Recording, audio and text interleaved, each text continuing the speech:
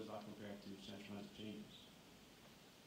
Um, so I'm Alex, I'm from London, that's where company is based, and uh, we, a lot of our work is about, actually I have a buzzer? Thank you. Perfect. Um, okay. So a lot about what we do is understanding how changes work and how um, decentralized exchanges compared to centralized exchanges. Because really what this is all about is is we've lost trust in centralized parties, we've lost trust in the banks, we've lost trust in the data companies, Google, Facebook, etc. They do whatever they want with our data, and we're, we're on to this new, you know, uh, revolution in financial services. Um, but one core thing to understand is how we can make it work, and I think liquidity is a big part of that. Uh, but before I get into it, let me tell you a tiny bit about myself, uh, because every time I go to these conferences and I listen to someone, I think, who is this guy? Why does he know what he knows? Kind of like, what's his path? So I'll give you a very quick um, kind of like overview. So I'm originally from Greece, it's the flag. I moved to London many, many years ago, uh, studied at Imperial College London. Then I decided uh, banking is the career to take. Um, not anymore, obviously. Uh, so I worked there for a bit, Credit Suisse. Uh, I dealt with algorithmic trading and building um, uh, low latency systems. That was interesting. But then I thought I actually don't know anything about the world, so I went to study, get another degree uh, at Imperial, and then decided I want to go back to banking. So I went to another bank. Uh, soon enough, I realized that even though it's it's nice to be part of a huge company, I wanted to do something different and do something that will actually impact the world. So I started a company in London, um, term, got backed by a tier one VC firm. Um, and then briefly after, I co-founded Krypton, where we are now. And interestingly, at the same time, I've been following crypto. I've been mining it since I was in college. I've been trading it, um, and kind of getting introduced to high-frequency trading. I decided it's a really good opportunity to trade it fast. Because if you're not fast enough, um, and if you're not smart about it, you're gonna lose your money in the price risk or in fees. So that's kind of like how what brings us today. Um, so anybody know what this is? It's price of Bitcoin and its relevant uh, volatility. So look at the black line for a sec. That is massive, right? That's 120% at its peak. If um, if you're a family office, if you're a high net worth individual, or if you're anyone pretty much, you don't want to you don't want your portfolio to fluctuate 80%. That's insane. It's crazy. Um, and so that's, that's one of our problems, right? Extreme volatility. The other one is unreliable data. Most of the exchanges, and I don't mean to put any, any of the exchanges down, uh, they don't have reliable data.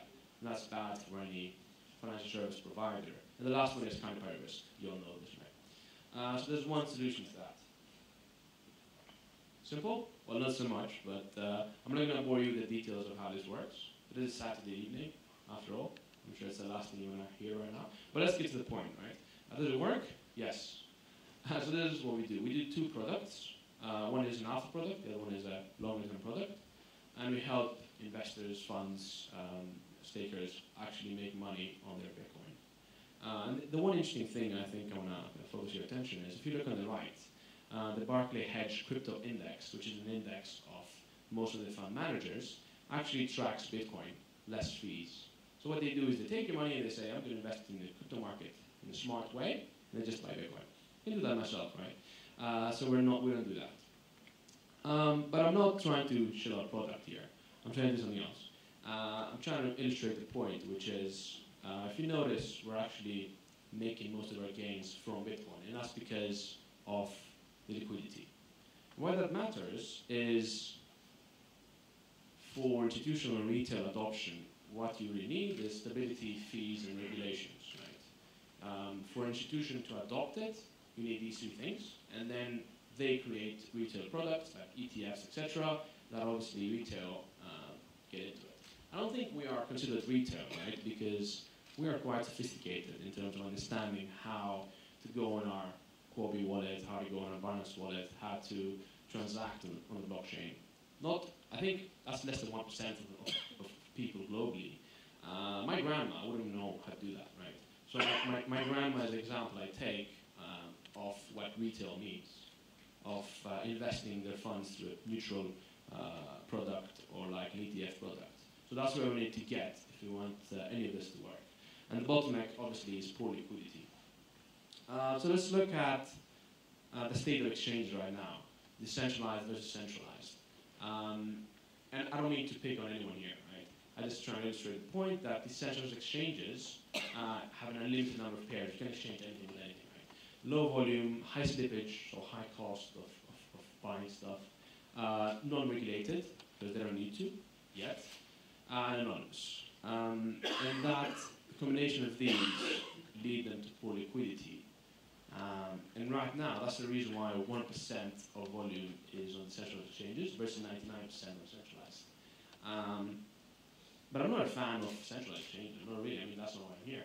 Um, but why is DeFi liquidity so problematic? Why is it that it's so poor? Um, and I think it's one of four reasons, right? Or maybe a combination of, of these. Um, number one, market makers are not willing to adapt to DEX standards. Maybe it's because it's too small, maybe it's because their systems are too complicated already.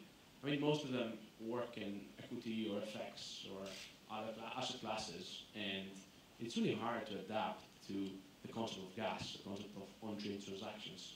Uh, and if the pie is small, why would they do that, right? Uh, number two, users need to adapt to the DEX concept. It's quite complicated. Um, and if you look at the UI UX, it's terrible. I mean, you don't understand how it works. It's terrible. Uh, number three, dilution among trillion pairs. If you have a million pairs, obviously the liquidity per pair is quite small.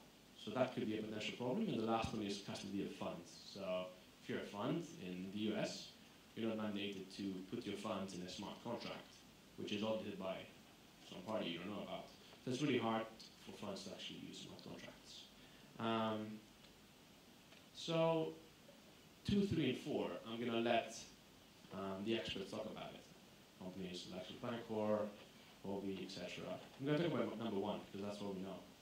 Um, so why is it so difficult for professional liquidity providers to really get in this market and, and, and help out?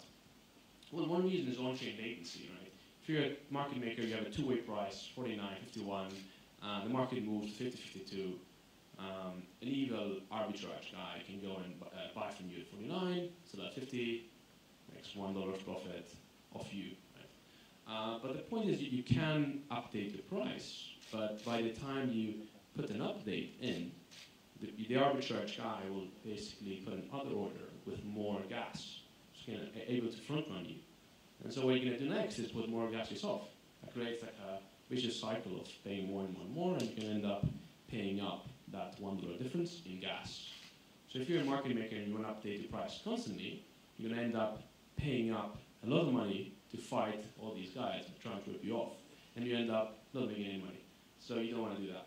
Uh, insufficient volume, the volume is quite low, so you don't really want to put a lot of effort into a very small pie, once again. Uh, last one is volatility, right? Uh, you, can't, you can't make money on a sideways market that doesn't move a lot. Well, sorry, you can only make money, uh, money on a sideways market. You can't make money on a market that moves in a crazy way uh, because your inventory is actually under risk when the market moves. Um, what can we do about it, right? That's all great, but uh, this is the problem. What can we do about it? What's, what's the solution? And I think there are three, I mean, th these are three things that we can do I think are important. Uh, one is to work closely with liquidity providers. So companies, uh, the likes of 0x, Bancor, Chainlink, etc., need to work with the market makers closely to understand what their needs are. And they do, they've, they've come up with some products, but I think we're still, there's still long to go. Um, and understand how they can incentivize them to work together. Uh, second is support aggregators.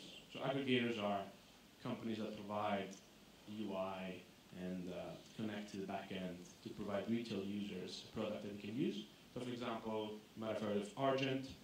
Um, there was a presentation, there was a panel earlier um, from uh, MYKEY, which is another aggregator.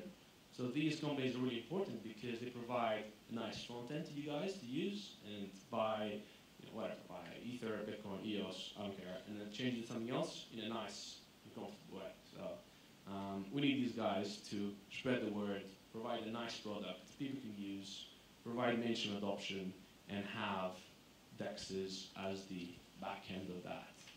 And the last one is trustworthy stablecoins, right? I don't want to hold my coins and my, my wealth in uh, a really small, dodgy coin. I want to hold my wealth probably in a trustworthy stablecoin, like USDT, whatever else, um, that can be used as an intermediary while I move from one to the other.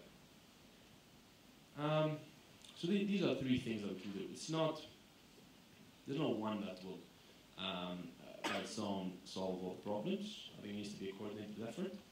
And ultimately, I think um, coordinated efforts, building a community, and understanding the details of, of what is actually happening is important uh, for this to actually work out for um, crypto to become more and more adopted by the mainstream, and uh, for that to become, I think it's going to be an extension of the financial markets. I don't think crypto by itself is going to be a new thing. It's not a new thing but, uh, per se. It's an extension of how the markets work, and I think the markets, as they are now, are going to go closer to how crypto works, and crypto is going to go closer to how markets work. So markets will become more digitalized, they'll become more, they'll become faster and more efficient. I think crypto, I see crypto as an extension to that. Um, that's, uh, that wraps it up. Thank you very much, everyone.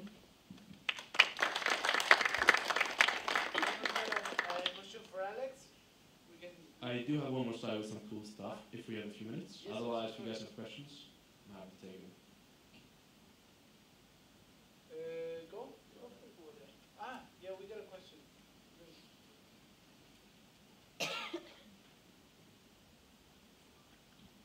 uh, hello, my name is Chris. Uh, how do you find Synthetix? Um, do you know Synthetix uh, in terms of liquidity and providing uh, all the things that you need for, for crypto? Uh, yes, it's previously called Heaven, uh, Havven, right? Yeah, I, I did. Uh, I know about the project. I was actually one of the early um, syndicates in, in, the project.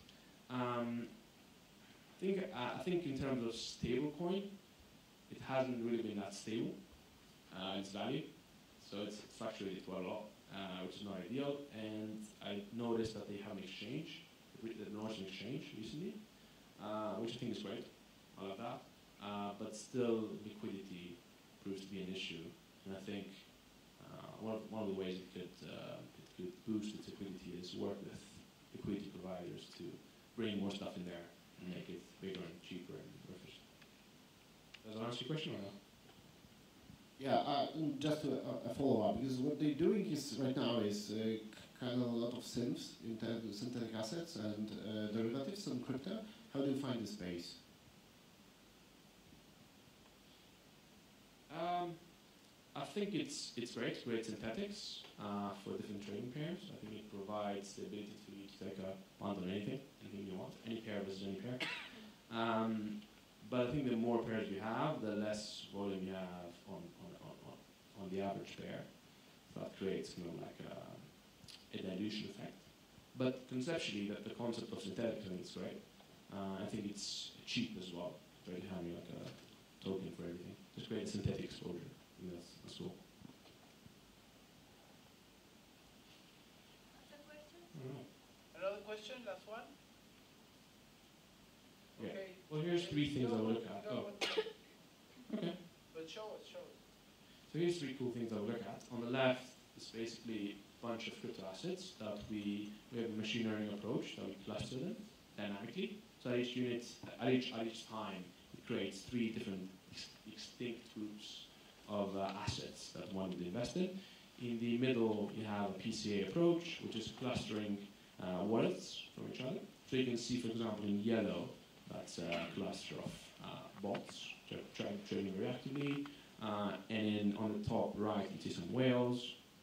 And then finally, this is one of the things that we look at via a provider that we have, which is basically visualizing mempool data. So mempool is, the memory pool is the transactions on the blockchain that haven't been confirmed yet, but they're in the process of getting confirmed. Um, and that shows you kind of like the momentum um, on the on the blockchain. Uh, that's pretty much it. Cool. Thanks a lot, man.